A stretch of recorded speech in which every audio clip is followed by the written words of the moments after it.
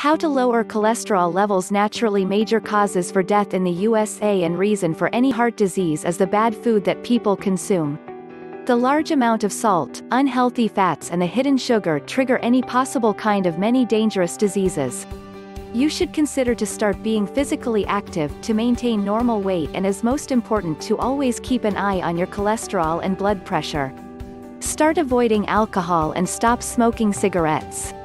Consider starting with all this mentioned above things if you want to protect your health and prevent many diseases.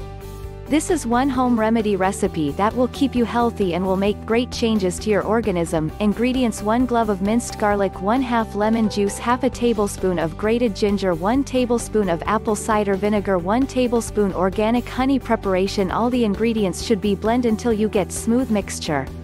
Place the mixture in a jar and store it in the refrigerator. Small doses of it should be consumed through the day, before the meals. A bit of water can be added if you have problem with swallowing or you just simply add it in your favorite drink. Health benefits, garlic, this is the most useful vegetable ever.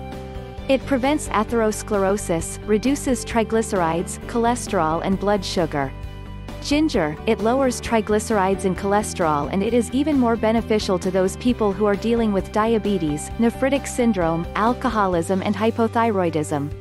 Apple cider vinegar Apple cider vinegar decreases the triglycerides and cholesterol. Normalizes the blood sugar and the insulin and it is great for diabetics who have type 2 diabetes. Honey, first of all consume honey regularly and you will prevent the accumulation of cholesterol in your blood vessels.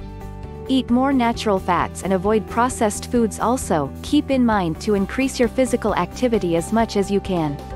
If you like the video, give it a thumbs up and share it with your friends. If you want more recipes and tips, subscribe to the channel.